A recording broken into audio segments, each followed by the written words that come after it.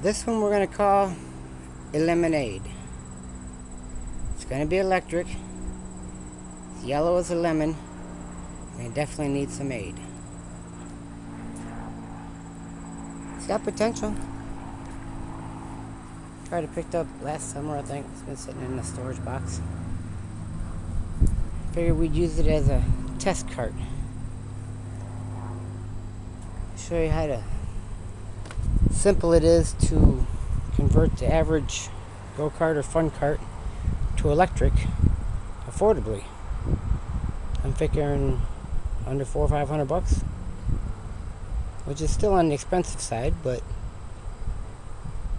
it's way better than thousands. Like some of them guys on the videos and stuff. They're easy, simple, hopefully without welding, and do a little bit of testing, show you what they're capable of. As I said, this cart needs quite a bit of aid. Looks like it's well worn. I've had some fun with it. That's uh, what's left of the band brake, I guess you would say.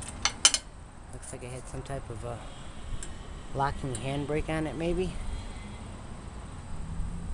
And then uh, there's a disc brake over here and a mount. I'm not sure where that comes in with the band brake, but maybe that was in a previous life. And then also they've rigged up a double set of pedals in the front. I guess so it's kid and adult friendly. But it's quite some rigging. Get some of this junk off of here shortly.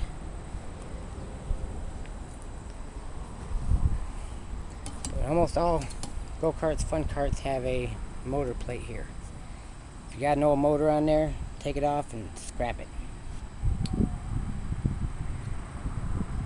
So we're gonna use the motor plate that's already on most carts. Some of them's here on the side, some of them's on this side, some of them's right in the middle. But the good thing about electric motors is they're reversible, so it's not a whole lot of work to make it go different ways. Most electric motors have just uh, two wires, positive and negative.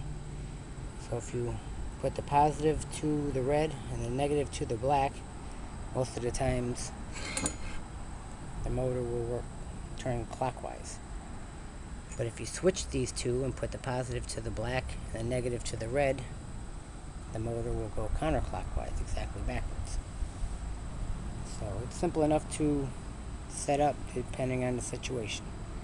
But as I said, most carts already have a motor mount on there pretty solid, so it's best to work off of that.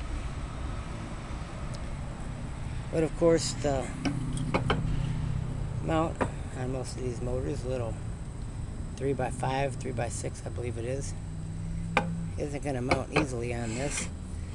And then, doesn't line up too well. We need to put it about like so.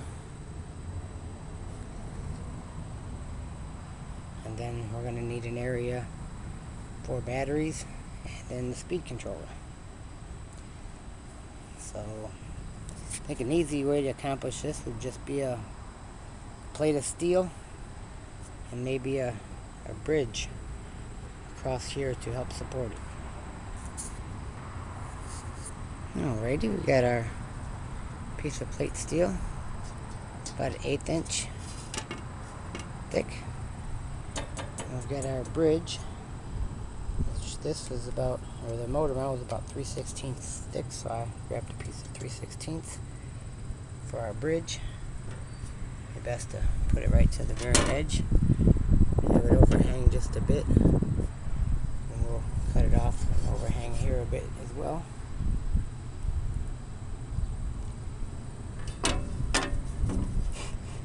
then our motor will be mounted right up to the front edge of the motor plate here.